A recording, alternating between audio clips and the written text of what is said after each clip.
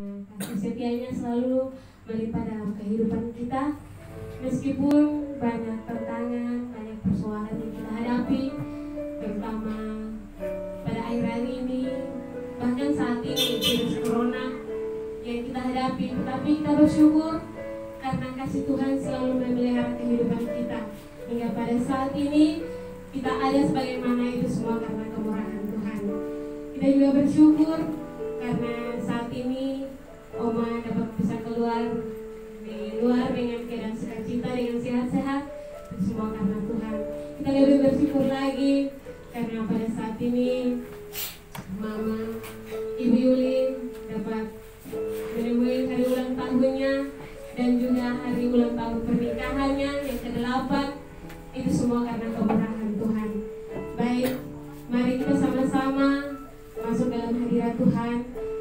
bersyukur kepada Tuhan, kita mau memuji dan memuliakan namanya.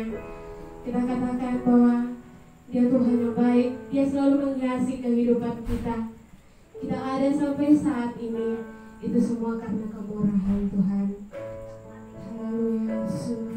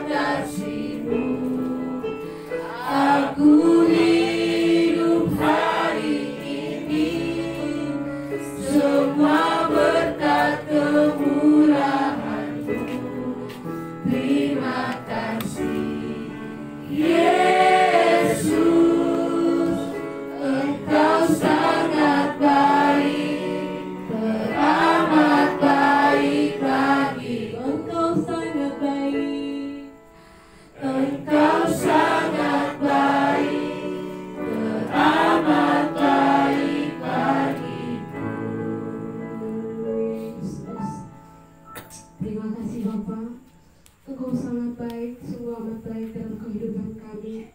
Hingga pada saat detik ini kami ada sebagaimana ada itu semua karena kemurahan-Mu Bapak. Bapak, hamba bersyukur saat ini kami dapat berkumpul di tempat ini dengan keadaan sukacita. Kami bersyukur karena pada saat ini kami dapat oh Tuhan bertemu dengan keluarga Bapak eh, Bapak Ed dan juga Tuhan Ibu yang menemui ulang tahun ulang tahun pernikahan dan juga ulang tahun umur panjang yang kau selalu berikan baginya Bapak kiranya kau mari memberkati dalam segala rumah tangganya berserahkan ke dalam tanganmu Bapak biarlah kau mari memberkati rumah tangganya agar selalu menjadi berkat bagi orang-orang di sekeliling terutama untuk kemuliaan bagi namamu Bapak di sorga, saat ini tiba saatnya kami mau memulai ibadah ucapan syukur kami. Biarlah kau mari menyertai kami dari awal pertengahan hingga dapat berakhir dengan baik. Hanya di dalam nama Yesus Kristus, Gembala yang itu kami sudah berdoa kepada Bapak di surga. Haleluya, amin. Haleluya, berikan kemuliaan bagi nama Tuhan. Amin. Baik, kita naikkan pujian yang berkata segala puji syukur hanya bagi Tuhan.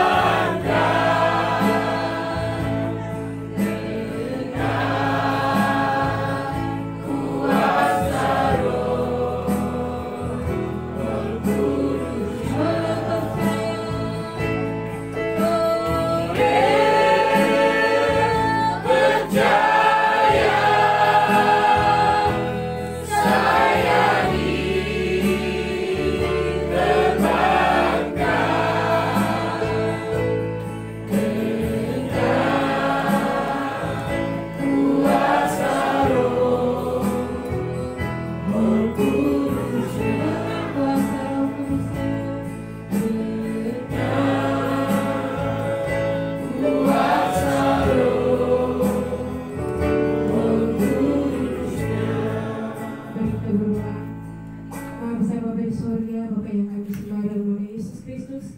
Segala puji syukur kami panjatkan kepadamu Tuhan buat kasih cintamu yang begitu luar biasa dalam kehidupan kami Bapa. Bapa pada saat malam hari ini kami sudah memuji dan memuliakan namamu Bapa. Kini tiba saatnya kami rindu untuk menjawab dengan sabda dan kebenaran Bapa. Biarlah kau mari hadir dalam tengah-tengah kami, biarlah kau mari berbicara dalam kehidupan kami Bapak Segala hal yang berusaha menghalangi kami untuk mendengarkan firman-Mu, berdoa tolak dalam nama Yesus. Biarlah oh Tuhan Engkau mari pagari bentengi kami. Pagari bentengi setiap hati kami, setiap telinga kami, setiap pikiran kami. Biarlah oh Tuhan kami fokus untuk mendengarkan firman Bapa. Berkati hamba yang dapat menceritakan firman Tuhan. Kiranya kuasa roh kudusmu mengurapi hamba. Biarlah oh Tuhan setiap pembicaranya dia oh Tuhan Keluarkan benar-benar oh Tuhan Engkau yang dapat menyampaikannya Bapa hanya di dalam nama Yesus Kristus firman yang hidup itu kami sudah berdoa kepada Bapa di surga. Haleluya, amin.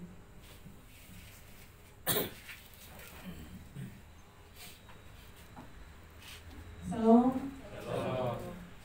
Puji Tuhan, malam hari ini kita bersama. Uh, saya mengambil satu firman Tuhan, satu bagian firman Tuhan. Kita buka Alkitab kita dari Efesus. Efesus pasal yang kelima, ayat yang ke-20. Efesus pasal 5 ayat yang ke-20 karena hanya ada satu ayat jadi saya akan membacakannya untuk kita semua. Efesus pasal 5 ayat yang ke-20 Ucaplah syukur senantiasa atas segala sesuatu dalam nama Tuhan kita Yesus Kristus kepada Allah dan Bapa kita. Ya, demikian firman Tuhan. Salam. Salam. Ini suara kurang semangat, dingin kok dingin harus bersyukur. Seperti kata firman Tuhan, ucaplah syukur senantiasa. Ya. Teman saudara semua malam hari ini eh, kita ada di sini salah satu bentuk ungkapan syukur kepada Tuhan. Karena Tuhan baik, Tuhan senantiasa menyertai perjalanan rumah tangga Bapak Ed dan Mama Yuli serta menyertai kehidupan pribadi Mama Yuli dan juga Oma secara khususnya Oma Ketong Suliat bisa keluar dari rumah Ya, kita bersyukur untuk penyertaan Tuhan yang luar biasa dalam kehidupan kita. Seperti kata firman Tuhan, ucaplah syukur senantiasa atas segala sesuatu. Bapak saudara semua terkadang sebagai manusia ketemu mengucap syukur nih uh, di saat waktu yang senang saja. Waktu yang sulit, keadaan yang sulit, mungkin terkadang ketemu banyak mengeluhnya daripada mengucap syukur. Nanti sudah lewat itu masa sulit baru ketemu mengucap syukur. Tapi firman Tuhan malam hari ini kembali mengingatkan kita ucaplah syukur senantiasa. Rasul Paulus uh, firman ini uh, dari Rasul Paulus ditujukan kepada jemaat di Efesus untuk selalu mengucap syukur dalam keadaan apa pun seperti kita saat ini firman Tuhan kembali mengingatkan kita untuk jangan pada keadaan senang saja kita mengucap syukur. Saya percaya kita semua di sini orang beriman, jadi dalam keadaan susah juga kita mengucap syukur. Amin. Kita bersyukur bahwa Tuhan kembali mengingatkan kita melalui firman Tuhan dan melalui perkara yang luar biasa Bapak Ed dan Mama Yuli malam hari ini kita diingatkan untuk terus mengucap syukur. Jadi ucap syukur itu semacam sebuah tanda orang beriman. Paulus uh, dalam firman Tuhan ini Paulus mengingatkan kita bahwa ucap syukur itu sebuah tanda orang beriman. Jadi mau keadaan senang, mau keadaan susah, selalu mengucap syukur. Tapi sebagai manusia terkadang kita mengucap syukurnya untuk diri kita. Maksudnya mengucap syukur karena hal yang kita buat, bukan karena hal yang Tuhan buat. Jadi kita mengucap syukurnya sudah mengucap syukur, benar mengucap syukur. Tapi mengucap syukur karena kita, bukan karena Tuhan sebenarnya kita harus tahu bahwa semua yang terjadi dalam kehidupan kita semua karena Tuhan, bukan karena kita.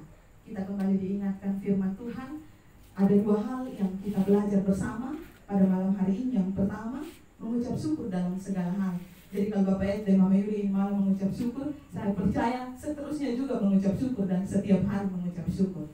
Mengucap syukur selalu dalam setiap hal, dalam segala sesuatu yang terjadi dan yang kedua, mengucap syukur bukan karena kita, tapi karena Tuhan.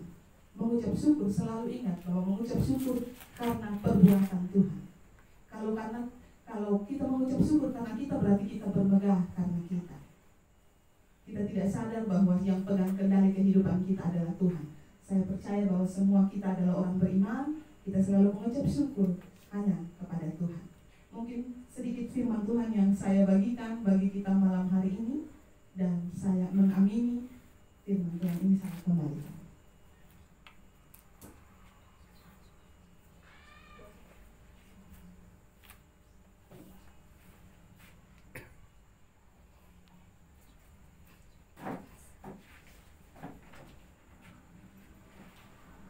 Oke baik, kita sudah kasih Tuhan dan diberkati Tuhan di mana pada kesempatan ini ini bukan suatu kebetulan kita berkumpul tetapi suatu kebahagiaan yang diperoleh oleh Bapak E dan Yuri dan terusnya oleh Oma pada saat ini Oma sudah bisa berjalan dari sudah bisa keluar dari.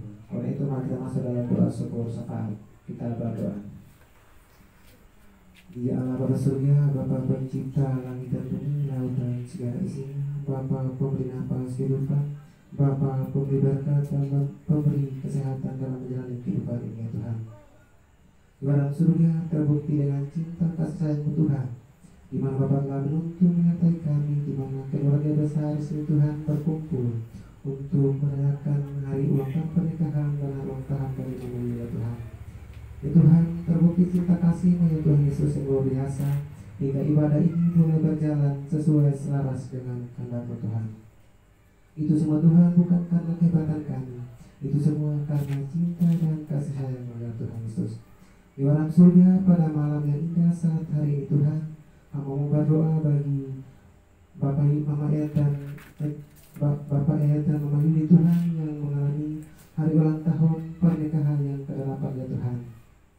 Terima kasih buat berkat kesehatan yang datang dari Tuhan sendiri.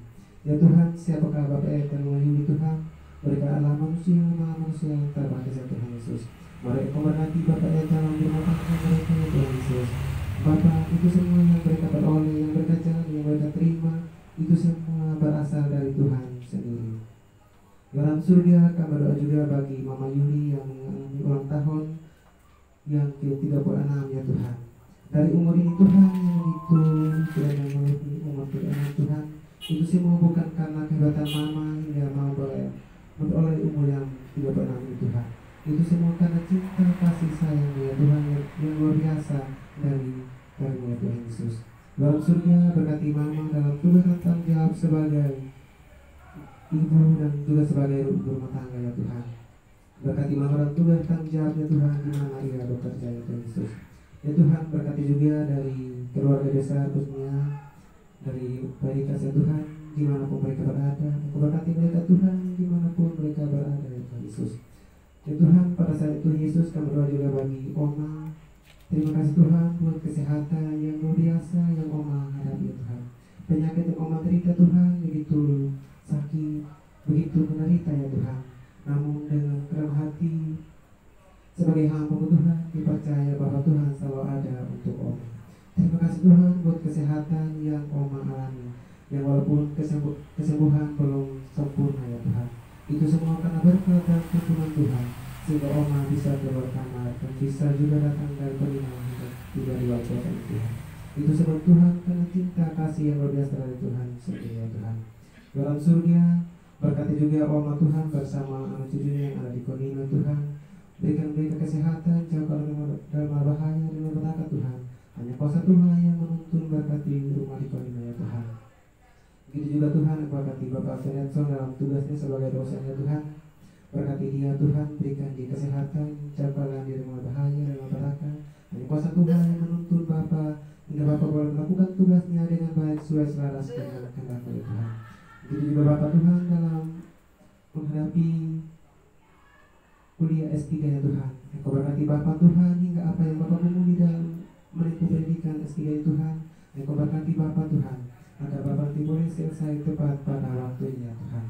Dalam surga seluruh yang hadir pada saat ini Tuhan siapa kami ya Tuhan. Karena manusia lemah ya Tuhan manusia yang terbatas ya Tuhan Yesus. Mari Tuhan berkati kami Tuhan. Pegari kami dengan kuasa Roh Kudusmu Bapa hingga kami berada dalam kasih sayang Tuhan. Bapa Ini doa kami Tuhan Yesus. Sebentar lagi Tuhan kami akan berpisah ini ya Tuhan. Mari berkati kami satu persatu ya Tuhan. Jauhkanlah kami bahaya, jauhkanlah kami dari petaka ya Tuhan. Hanya kuasa Tuhan yang menuntun menyertai kami hingga kami boleh tiba di rumah kami dan selamat dan surga cita ya Tuhan. Terlebih khususnya bagi umat Tuhan yang pulang ke Kodino Sedar Tuhan. Mari berkati umat Tuhan, pakai umat yang masalah kudusmu. Hingga umat boleh tiba dengan selamat di sana Tuhan Yesus. Bapa, semua yang masih banyak kami pinta di hadapanmu Tuhan. Itu semuanya Tuhan, Tuhan sudah mengetahui apa maksud dan tujuan kami. Dan dalam nama Yesus kami berdoa. Haleluya. Amin.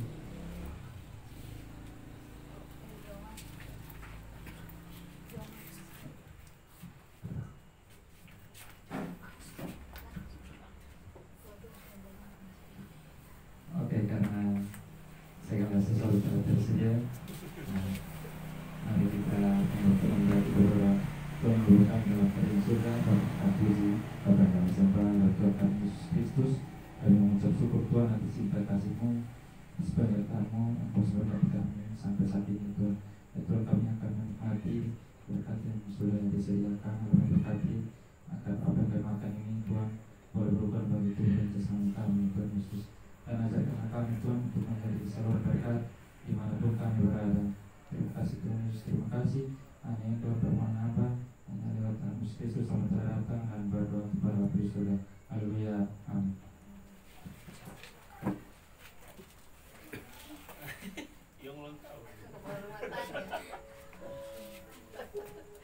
Oh, bapak. Oma nanti di tempat. Yang paling tua sekarang. Yang paling tua.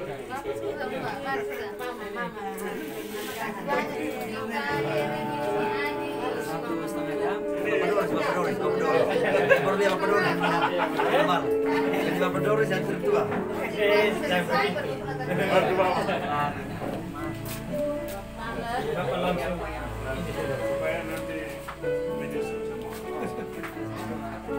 Yopi. Ini pun ada satu belum ada sama. Yopi. Kan sudah? Kopi